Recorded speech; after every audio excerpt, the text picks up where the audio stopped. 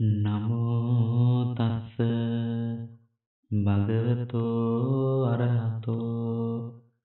සම්මා සම්බුද්දස්ස. කාරුණික සදහැවත් පින්වතුනි අද දවස අපිට ඊටමත් වැදගත් වූ දවසක්. ඒකට හේතුව ඔබ මේ වෙනකොටත් දන්නවා ඒ තමයි 2021 අවුරුද්දේ අවසාන පොහොය හැටියට අපි සලකනු ලබන උඳුවප්පුර පසළොස්වක් පොහෝ දිනය යෙදිලා තියෙන්නේ අද දවසට. පොහොය දවසක් කියලා කියන්නේ බෞද්ධ ජනතාවට ඊටමත් සුවිශේෂී දවසක්. මොකද පොහොය දවසකට ගොඩාක් මිනිස්සු පුරුදු වෙලා ඉන්නවා තමන්ගේ ජීවිතේ කුසල් දහම් වලින් පෝෂණය කරගන්න. අද දවසේ වැඩි ප්‍රමාණයක් නිවෙස්වල ජීවත් වන ඔබ අද දවසේ පුළුවන්කම තියෙනවා වාසනාව උදා කරගන්න පුළුවන් ඔබට ඔබේ ආදරණීය පවුලේ සියලු දෙනා එක්ක ඔබේ ගමේ විහාරස්ථානයට හෝ එහෙමත් නැත්නම් ඔබ දන්න කියන විහාරස්ථානයකට ගිහිල්ලා බුදුරජාණන් වහන්සේ වෙනුවෙන් මල් පහන් සුවඳ දුම් ආදී ඒ පූජාවන් සිද්ධ කරලා පින් සිද්ධ කරගන්න ඔබට අද දවසේ වාසනාව තියනවා වෙන දවස්වලට වඩා. ඒ වගේමයි යම්කිසි හේතුවක් නිසා ඔබ නිවසේම නම් ඉන්නේ නිවස තුලදීත් ඔබට පුළුවන් ඔබේ රූපවාහිනීන් ගුවන් විදුලියෙන් ධර්ම දේශනාවල් ශ්‍රවණය කරලා විවිධ පූජාවන් වලට ඇහුම්කන් දීලා ඒවා බලන්නත් ඒ වගේම ඒ දේවල් වල තියෙන ධර්ම කරුණු ඉගෙන ගන්නත් ඔබට පුළුවන්කම තියෙනවා. නිවස තුල ඉඳලත් ඒ වගේම විහාරස්ථානයට ගිහිල්ලත් විවිධ ප්‍රතිපත්ති පූජාවන්හි යෙදෙන්න අද දවස ඊටමත් සුවිශේෂ වූ දවසක් අපි හැමදෙනාටම අනෙක් පොහොය දවස්වලටත් වගේම මේ උඳුවක්පුර පොහොය දවසේත් සිදුවිච්ච සුවිශේෂ වූ වැදගත්කම් රාශියක් තියෙනවා. ධර්මදේශනාව ආරම්භයේදීම ඔබට ඒ කරුණු එකින් එක පැහැදිලි කරලා දුන්නොත් හොඳයි කියලා මම කල්පනා කරනවා.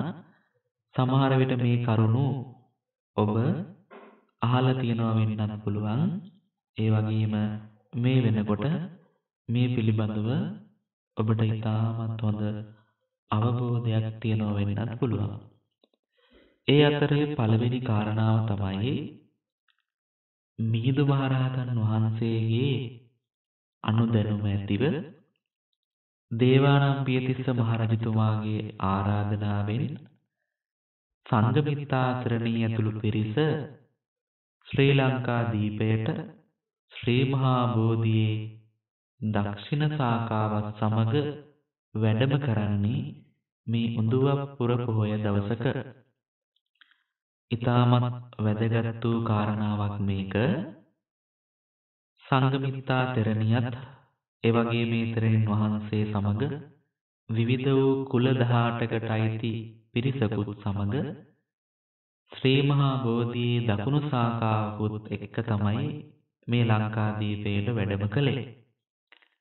අන්න එදායින් පස්සේ අපේ රට තව තවත් බුදුදහමින් පෝෂණය වන්න බලපාපු කාරණාවන් ගොඩාක් සිද්ධ වුණා. ඒ අතරේ වැදගත්ම කාරණාවක් තමයි ශ්‍රී මහා බෝධීන් වහන්සේට මිනිස්සු පුද පූජාවන් කරන්න වන්දනා කරන්න ආරම්භ කරපු එක.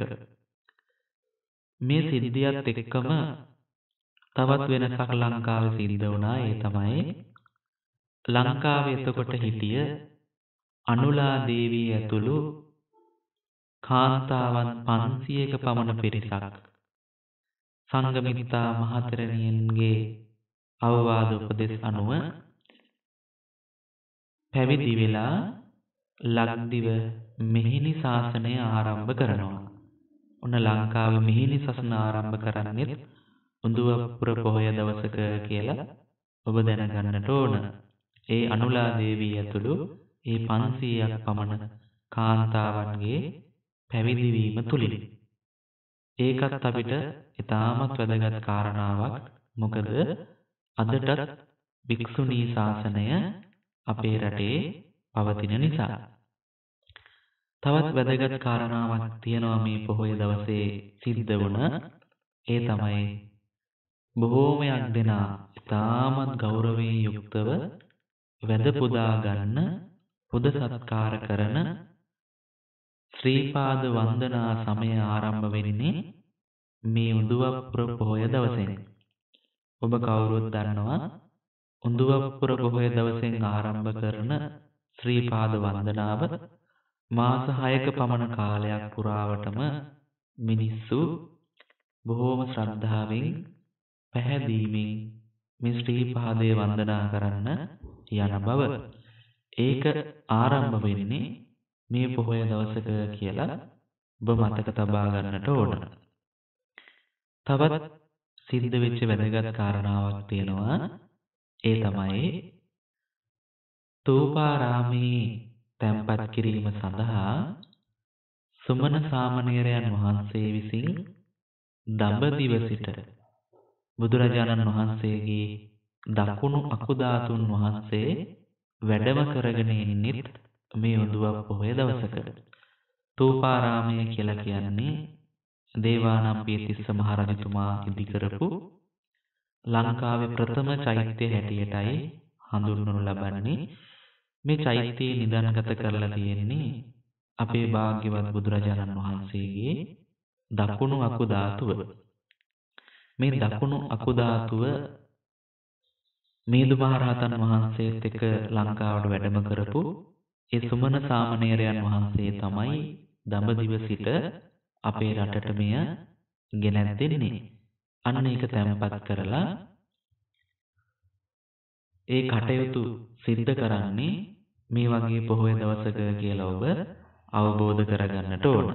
ඉතින් මෙන්න මේ කියන සුවිශේෂ වූ වැදගත් කාරණාවන් තමයි මේ පොහොය දවසේ සිද්ධ වෙලා තියෙන්නේ.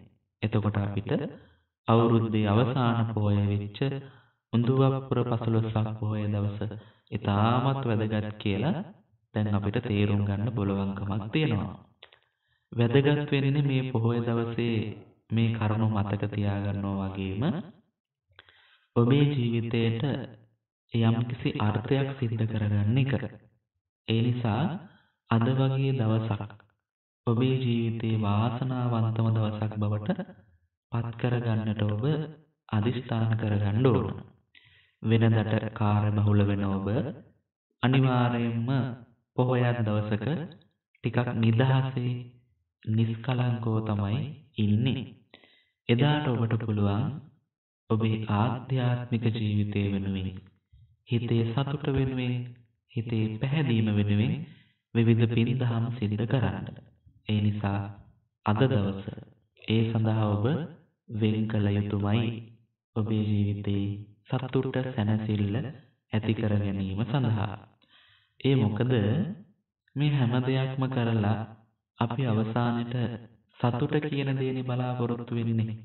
අද දවසේ ඔබ මේ වැදගත් පොහොය දවසේ භාග්‍යවත් බුදුරජාණන් වහන්සේ වෙනුවෙන් මල් ටිකක් පූජා කරනවා නම් පහනක් පත්තු කරනවා නම් ඒ හැම කටයුත්තක්ම තුළින්ම ඔබට හිතේ සැනසෙල්ල සතුට ඇති කරගන්න පුළුවන්කම තියෙනවා. ඒ නිසා පින්වත් ඔබේ පවුලේ අය එක්ක ආදරණීය දරුවෝ එක්ක මේ කටයුතු වල නියැලෙන්න. එතකොට ඒ අයටත් හොඳ පූර්වාදර්ශයක් ඔබට ලබා දෙන්න පුළුවන්. අවවාදයට වඩා ආදර්ශය උතුම් කියන ගුණාංගය දෙමව්පියෝ ඇටියට ඔබේ ජීවිතේ අනිවාර්යයෙන්ම ඇති කරගන්නට ඕන. ඉතින් මෙන්න මේ කරුණු ටික ඉතාමත් හොඳට ඔබ හිතින් අවබෝධ කරගන්න, ඒ අවබෝධ කරගෙන ඒ අනුව කටයුතු කරන්න උත්සාහ කරන්න කියලා ඔබට මතක් කරමින් පොහොය දවසේ මේ කෙටි ධර්මානුශාසනාව මෙතකින් නිමා කරනවා.